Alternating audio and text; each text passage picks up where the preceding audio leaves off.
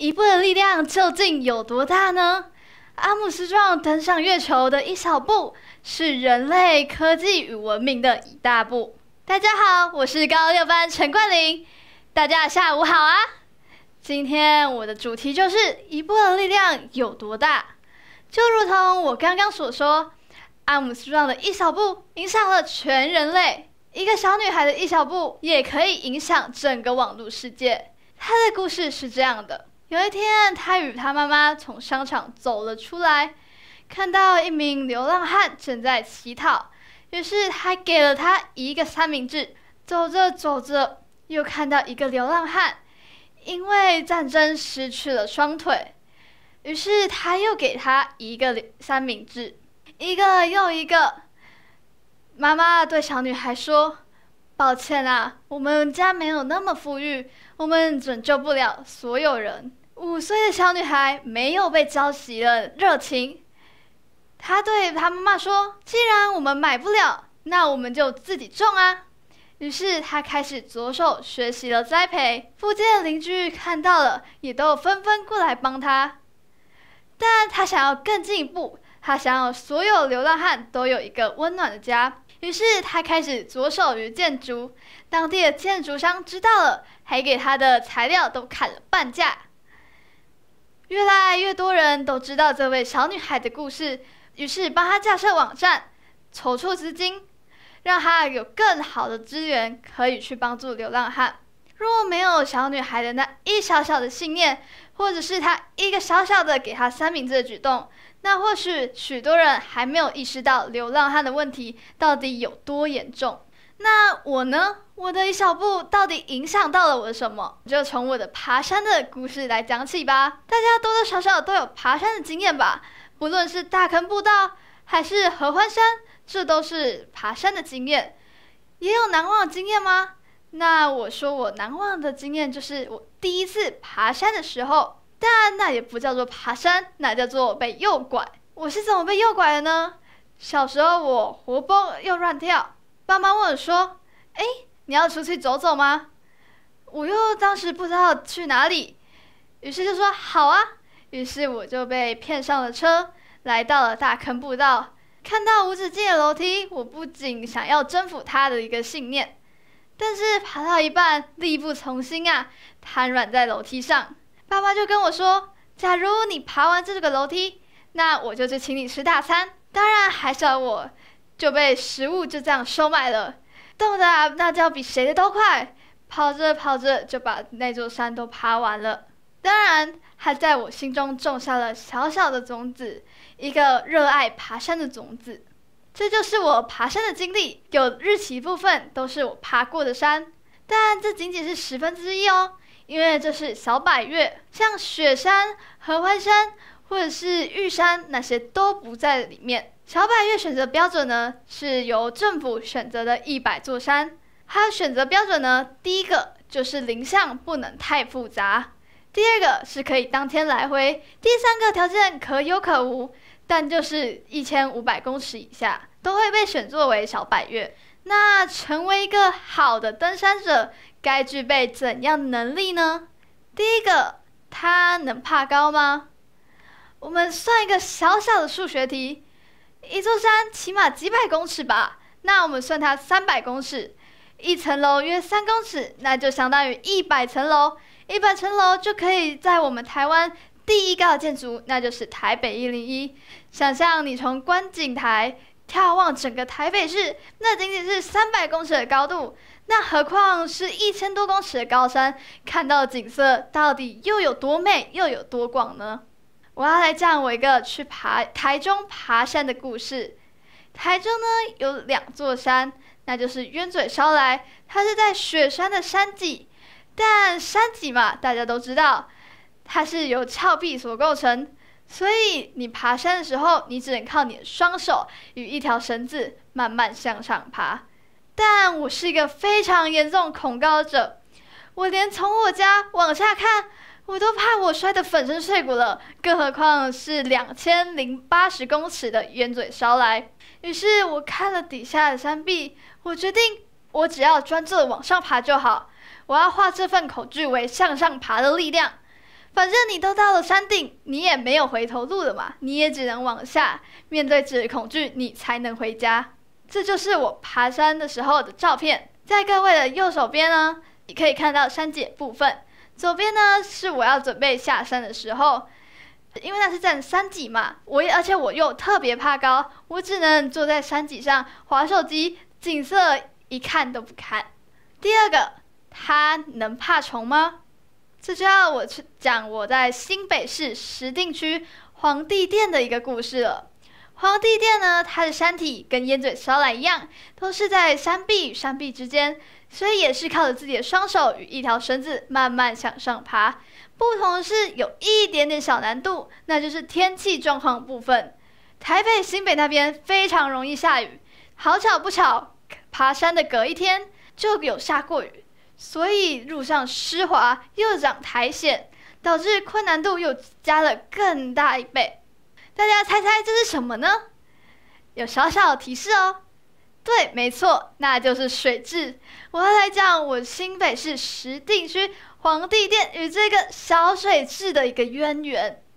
在爬山爬到一半，湿热天气让我真的快要中暑与窒息。于是我沉默了很久，我在想说，我到底要不要回去？我不能回去车上吹冷气吗？我就不能放弃吗？反正又没有什么利益。但正当我起身，握紧拳头，我发现我的中指与食指中间多了一个软软的东西。我不知道那是什么，我还怀疑那是我自己的肉。我又再捏了捏一下。哦，这这到底什么？这是一个虫子，对，那就是当时那只水蛭。于是我往山脚顶往前冲，又跑又跳又疯狂尖叫，再加上甩手，就为了摆脱那只虫子。本来一个小时才到山顶的过程，就被我半个小时给跑完了。我要谢谢这只小小水蛭给我一步的力量。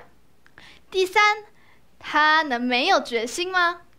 一个情境题给在座的各位，大家可以思考一下：假如有一座山，正常人是无法攀登的，那你会选择一开始连踏都没有踏就放弃了呢？想说啊，反正我也爬不了，那就回去吧？还是你会爬到中途，你才想说，嗯，我就要放弃，那就不如爬一半再走吧？还是你会选择第三个选项？当那个不正常人把它爬完呢？在座高的同学想必有上过这个课文吧？但那是属于作者的玉山去来。我要讲的玉山去来是属于我的玉山去来。这是当天的照片。凌晨五点，我就起了一大早，收拾好东西，就准备往玉山登山口前进。到塔塔家游客中心，把所有东西都办好后。才前往登山口，但是到登山口，我却却步了。我问自己：我可以征服这三千多公尺高山吗？我可以爬台全台湾第一座高峰吗？我到底有没有这个能力呢？但爸妈推了我一把，没有回头路，那也只能往上继续爬。但当天的天气状况也不是那么的好，天气雾蒙蒙的一片。但在各位右上角。是玉山的特有种，那就是玉山蓟。当时差点把它当杂草就踩了过去，还好爸妈阻止我，不，这不行，这是玉山记，不能乱踩。但也有时候云终于散开，还看得到远方的风景，这就是当时的风景。接着呢，你爬玉山，你不能一天两天，一天就爬完了，那就需要耗费两天的事情。爬到中间，你需要在排云山庄先休息一下。才继续为第二天登上三角点所准备。这是当天的晚餐，但这个伙食呢，并不是不好哦。想想看，三千多公尺的高山，并没有什么人力，或者是卡车、铁轨，什么都没办法运送上来，只能靠背工一个一个把食材背上来。所以这样的伙食已经算非常非常好喽。凌晨两点起了一大一大早。就为了看那日出，也为了登上三角点，但天气还是不那么美好，雾蒙蒙的一片，什么也看不到。日出啊那些什么都没有。各位的右边呢是凌晨三点的时候，左边呢是凌晨两点的时候。凌晨两点，太阳都还没出来，唯一的光源就是大家额前的探照灯。这是我们登上了山脚点的照片，但别看我路上一路嘻嘻哈哈，那里也看，那里也看，那个风景又看了一下。但是我为了爬玉山，我做了什么努力呢？三千多公尺的高山，气压稀薄，氧气浓度又低，紫外线强度又高，更何况还会迸发着高山症。高山症你还能靠药物控制，但紫外线你还能穿长袖长裤来免于紫外线的干扰。空气稀薄呢？这些你就不能去改变它什么，因为那就是自然现象嘛。你能改变的就是自己的体能了。于是，在前一个月，我就开始做我的体能训练，跑步、负重训练一个也没落下。开始的第一天，当然干劲满满吧，跑连续跑了三十分钟，第二三天都这么持续。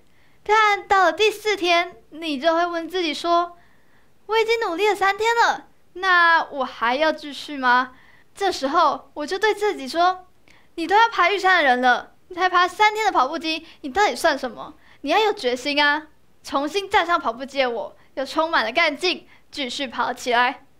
第五天、第六天、第七天，一个礼拜过去了，又迎来新的一天。从放学回来，当天下着大雨，背包又非常非常的重，我坐在跑步机上面沉思着，问自己：我都受了那么多罪了。我还要继续努力，继续去跑步吗？我坐在跑步机上沉思了十五分钟，我还是同样那句话：你爬玉山，你能没有决心吗？更何况你才跑跑步机而已。于是我又重新站了起来，继续去为我玉山做下一步的动作。两天、三天、四天，新的一个礼拜过去了。第三个礼拜，你当然又会问自己。我都连续两个礼拜那么认真跑步了，我第三个礼拜不能休息一下吗？当然，我又是重新那句话：你能没有决心吗？你都要去爬玉山了，三千多公尺是你跑十五分钟的跑步机就能解决的事情吗？第三个礼拜就这样过去了。第四个礼拜呢？你会想说，前三个礼拜你那么认真又那么努力，我第四个礼拜不能放松一下吗？反正就离爬玉山也只有一个礼拜。但如果更长远来看，如果这样持续跑步下去，其实对之后的体育课或者是任何体能都有有所帮助。于是我又下定了决心，又重新站回跑步机上面，继续为我玉山做奋斗。当天玉山那天，果不其然，其实跑步的训练还是有一点点效果，让我没有那么喘，让我可以更有力量的往前一步。我非常怕高，我又怕虫，但我并不畏惧跨出那一步。我有决心。是谁影响了我呢？我爸妈吗？同才？网络压力？又是又或者是什么网络影片类东西？不，影响的人终究只是自己。自己说自己要有决心，自己才办得到。我的一步呢，并不会撼动整个世界，但它。影响了我整个人生。我迈出的是我坚持与我整个自律。想象一下，人生的道路上，只能自己去跨出那一步，方能往前。你连一步的力量都不敢踏出去，那你又怎么能继续下去呢？一步的力量并不能影响全人类，但它能影响到自己。你为什么不去跨出那一步呢？谢谢大家，我是高六班陈冠霖。